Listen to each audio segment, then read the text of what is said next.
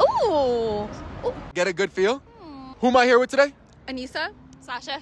So I don't know if you guys heard, in 2020, a study came out from Harvard University that if a woman feels another man's abs, orally known as the abdominal area, they can tell how big their package is. You guys know about that? Oh, I, I, We do. We do. You read, you read about that? About that, yeah. See if it works. But uh, yeah. Here we go. that's Okay. on you, Yeah, you can test it on me. Go first. You try it first. Oh. Give it a feel, you know, get it, get a good feel, Okay.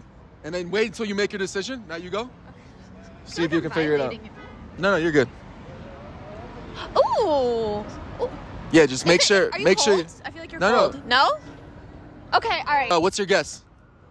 Like two inches. Maybe the study's wrong. Okay, how about you? I'm gonna say like eight. Yeah, the study. That's what I'm saying. The study's right. Oh my god. Is that real? My face is right there. My face.